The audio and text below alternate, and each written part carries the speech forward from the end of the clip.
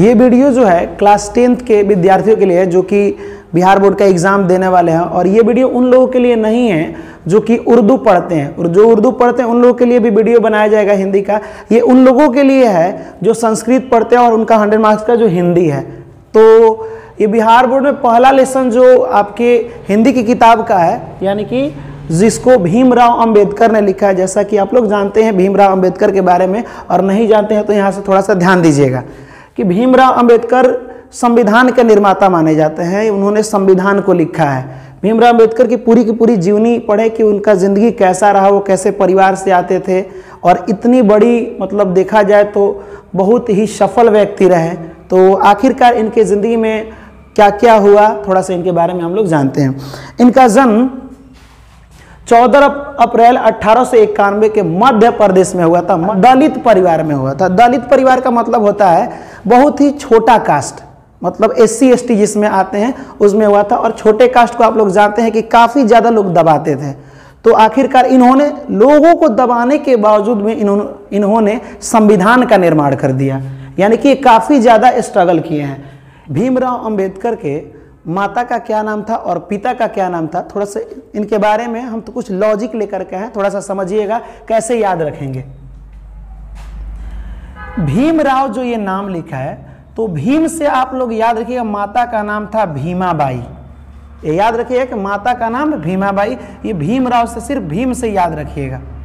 भीमराव जो अंबेडकर है, उस हिसाब से हो जाएगा, माता का नाम भीमाबाई। और भीमाबाई में, यहाँ पे थोड़ा सा भीमराव में इनके पिता का नाम था रामजी सखपाल तो याद रखिएगा, जब ये भीमराव अंबेडकर के नाम में ही रा और म, राम यहाँ लिखा है, यानी कि इनके नाम में ही इनके माता और पिता का नाम छिपा हुआ है। देखिए कैसे, यहाँ से भीमाबाई, आप लोग याद, भीम से भीमाबाई याद रखिएगा, और ये रा और म, राम तो राम जी सकपाल याद रखिएगा।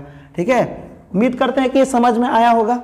इनकी शिक्षा, जब ये प्राइमरी शिक्षा तो अपने गाँव में ही लिए मतलब देहात में ही लिए, लेकिन थोड़ा सा बड़े हुए तो इनके टैलेंट को देखते हुए मतलब बहुत लोगों ने समर्थन किया और इनकी शिक्षा न्यूयॉर्क में अमेरिका में हुआ। उसके बाद से दूसरी शिक्षा लंदन में हुआ। वहाँ से ज्ञान प्राप्त करने के बाद से ये वकालत भी किए हैं इंडिया में आकर के, भारत में, और ये वकालत भी किए हैं।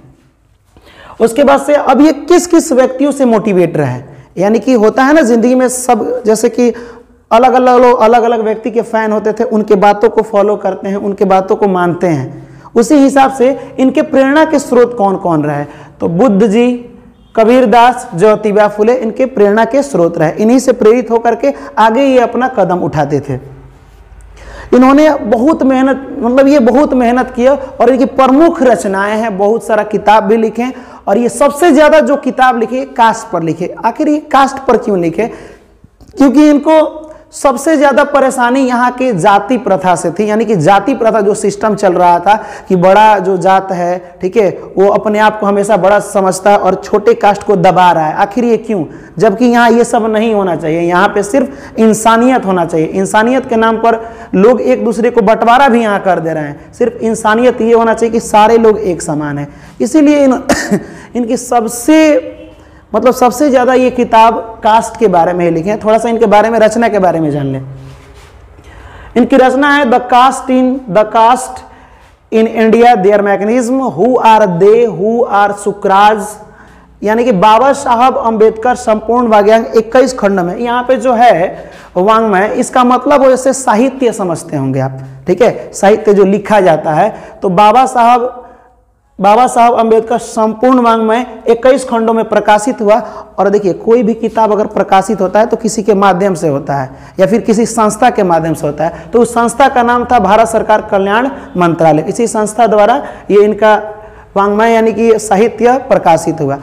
इस लेसन में हम लोग डिस्कस करने वाले हैं, जो भीमराव अंबेडकर अपने कास्ट से पीड़ित होकर के बहुत सारे बुक का निर्माण किए यानी बहुत सारे बुक लिखे हैं, किताब लिखे हैं। उसी का एक छोटा सा निबंध लिखे हैं, श्रम विभाजन और जाति प्रथा। यानी कि यहाँ आप देख सकते हैं एनहिलेशन ऑफ़ कास्ट का हिंदी रूपांतरण, ललई सिंह यादव, ये तो लिखे थे अपने इंग्लिश में ये, ठीक है? लेकिन इसका हिंदी में अनुवाद किए हैं ललई सिंह यादव, श्रम विभाजन और जाति प्रथा। यानी कि जो श्रम का मतलब होता है काम और श्रम का जो बंटवारा हुआ है वह जाति प्रथा के आधार पर लोग कैसे किए, वो अगले लेयर में हम लोग देखेंगे। भीमराव अंबेडकर द्वारा लिखा गया जो ये निबंध है, ठीक है, यहाँ पे श्रम विभाजन और जाति प्रथा, वो जाति के बारे में लिखे हैं कि जो श्रम का विभाजन हुआ है, पहले के लोग किस तरह से जात पात बनाए। इन भगवान ने तो इंसान ही सबको बनाया, लेकिन यहाँ पे आकर के लोग जात पात एक दूसरे को बांट लिए कि तुम अलग जात के हो, तुम बड़े जात के हो, तुम छोटे जात के हो। यहाँ पे और इससे प्रभावित हुए सबसे ज़्यादा भीमराव अंबेडकर और उन्होंने एकजुट करने की कोशिश की। आप देखे होंगे छोटे जात को या फिर एस सी जो भी होते हैं कास्ट, इनको आरक्षण भी बाद में संविधान में उन लोगों को दिया गया है। ठीक है? तो श्रम विभाजन बोले कि देखिए, जाति के आधार पर श्रम का विभाजन नहीं होना चाहिए। इससे कि अपना देश डेवलप नहीं करेगा। अगर मान लीजिए कुछ देर के लिए कि कोई एक लोहार जात का है, यहाँ ध्यान से समझिएगा, कोई भी एक आदमी है जो लोहार जात का है और उसको लोहा का काम करने में इंटरेस्ट नहीं है, उसको अच्छा नहीं लगता है। लेकिन उसको ज़बरदस्ती थोप दिया जाए कि नहीं, तुम तो लोहार जात के हो, तुम जिस जात में पैदा हुए हो वही काम करना है, जो उसका पेशा है, वही काम करना है। और उस काम में अगर उस व्यक्ति को इंटरेस्ट नहीं है तो उस काम को कभी वो आगे तक नहीं बढ़ा सकता है। और उस काम में कभी सफल नहीं हो सकता है, और इस तरह से उसका विकास कभी नहीं हो सकता है। हमेशा वो और नीचे दबते चला जाएगा। और कहा जाता है कि हर एक नागरिक का विकास ही पूरे देश का विकास है। तो भीमराव अंबेडकर बोले हैं कि ये कास्ट पर श्रम का, यानी कि जो भी ये जात पात है, उसके अनुसार श्रम का बंटवारा मत कीजिए। ठीक है? यहाँ इस सेंटेंस को थोड़ा सा डीपली समझिएगा। आपको एग्ज़ाम में लिखने को आएगा, अगर श्रम विभाजन, जैसे टॉपिक अगर आपसे पूछ दे कि श्रम का विभाजन जाति के आधार पर करना उचित है या नहीं, क्या यहाँ के लोग किस टाइप के हैं और किस टाइप के समर्थन देते हैं? यहाँ तो देख सकते हैं कि बड़ा दुख का बात ये भीमराव अंबेडकर जी बोले हैं कि जातिवाद के पोषण की कमियाँ नहीं है। आज भी लोग जातिवाद को बढ़ावा दे रहे हैं कि नहीं, बड़ा जात, बड़ा जाति होता है, छोटा जात, किसी काम का नहीं होता है। ऐसे आज भी लोग हैं समाज में, ठीक है? आधुनिक सभ्य समाज और कार्य कुशलता के लिए श्रम विभाजन आवश्यक है। देखिए, श्रम विभाजन श्रम का मतलब होता है काम। काम का बंटवारा कीजिए। मान लीजिए कि अगर लोहार का काम है, बढ़ई का काम है, ठीक है, वेल्डिंग मिस्त्री जो भी अपना काम है अलग अलग काम का बंटवारा कीजिए। क्योंकि जो काम हमको इंटरेस्ट आएगा, जो काम अलग अलग व्यक्तियों को करने में मज़ा आएगा, वो वही काम करेगा तो काम का बंटवारा कीजिए। लेकिन जिस काम में मन लगता है, अगर आप जिस काम में कुशल हैं, उस हिसाब से बंटवारा कीजिए काम का। जाति के आधार पर काम को मत बांटिए। आज आधुनिक युग है, आप देख सकते हैं औद्योगिकरण जब से हुआ जब से मशीन आया, अगर मान लीजिए कि एक छोटा सा जात किस कोई भी ले लो, कुछ देर के लिए अगर हम, मान लीजिए अलग अलग कास्ट भी होता है अलग अलग कास्ट में अलग अलग काम होता है, कुहार का लेते हैं, कुहार का काम है घड़ा बनाना। और बताइए कि आज जितने भी बर्तन बन रहे हैं, वो सब टेक्नोलॉजी द्वारा अगर देखें तो मशीन से बर्तन बनाए जाते हैं। अगर वो व्यक्ति हमेशा मिट्टी का ही काम करते रहे और कुछ अच्छा नहीं करे, कुछ नया नहीं सीखे तो वो कभी भी ज़िंदगी में आगे नहीं बढ़ सकता है। और इस हिसाब से भुखमरी की स्थिति आ सकती है। तो यहाँ पे अगर आप जिस काम में कुशल हैं, जो काम अच्छा से जानते हैं, उसके हिसाब से आप श्रम का विभाजन कर सकते हैं। सिर्फ़ काम का बंटवारा कीजिए। श्रम विभाजन होना चाहिए, श्रमिक विभाजन नहीं होना चाहिए, लोगों में नहीं बंटवारा होना चाहिए। यहाँ देखिए, श्रम का विभाजन कैसे होना चाहिए तो रुचि के आधार पर, जिस काम में मन लग रहा है, उसके हिसाब से आप काम का बंटवारा कीजिए।